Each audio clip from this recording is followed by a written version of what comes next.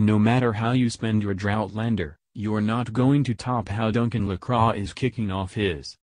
The Outlander star is traveling New Zealand, backpacking, occasionally hanging out with co-stars and spending a good deal of time in a van he's dubbed the Murtaghmobile in social media posts. In fact, when TV Line catches up with him to talk about the show's season 4 finale, and one very interesting hookup therein, Lacroix has just trapped a hike. I just made it to a place where I could take your phone call, just in time, he says, apologizing for traffic sounds in the background. As if a little audio interference could deter us from getting the scoop on Murtagh's unexpected and thoroughly delightful love scene with Jocasta. Read on as we grill Lacroix about Jamie's gruff godfather and genteel great aunt getting it on. Line, I adored the back-to-back Murtagh, Jocasta scenes. What were your first thoughts upon finding out those two were going to get together? Only a few episodes before, I didn't really get the script for that until three weeks before we shot it. I mean, it kind of makes sense. That past history they've got.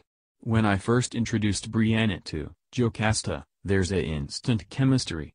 Maria, Doyle Kennedy, who plays Jocasta, is such a great actress, as well. It's just an effortless process. TVLine, Jocasta and Murtagh have known each other a long time. Did you and Maria talk about how long this attraction might have been simmering, and whether it was mutual? Circumstances what they were, we didn't even socialize until those things played out in the last episode. We shot them all back to back.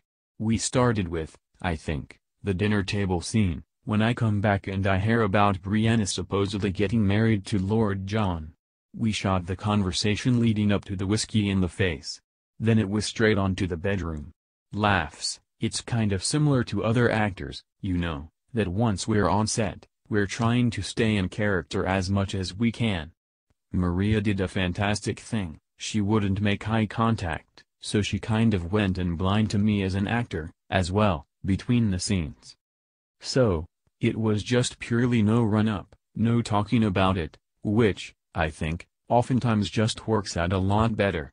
You can overthink things with acting, what really worked for me was kind of a lucky dynamic as far as how to go in blind. I think Murtagh, for all his gruffness, in the lady department, he probably isn't such a hero. The fact that you can take in someone that you're attracted to without them looking back. There's a lot of nice things you can play with there. Line, in the moments before the redcoats arrive, Jocasta and Murtagh have a moment full of longing, and both Jamie and Claire notice. It struck me how that's not the way we usually see him react to danger, he's usually far more utilitarian about what needs to be done. Is this a change we'll see in him moving forward? It's interesting, I had to be reminded to look at Jamie, as well. That kind of connection went to come in second. That's the first time that's happened with Murtagh. Remember to look at Sam, Heughan. Laughs, there's no build-up to this relationship, really. Because obviously, it's going to throw up lots and lots of problems. For one, Jocasta's a slave owner, and Murtagh's just come back. He spent 12 years there as, a, servant, so. There's also moral dynamics it's going to throw up. You're right, he's been on his own for 12 years. Although he's got Jamie back, he's still kind of leading this rebellion with kind of laissez-faire attitude, because he's got nothing really to lose.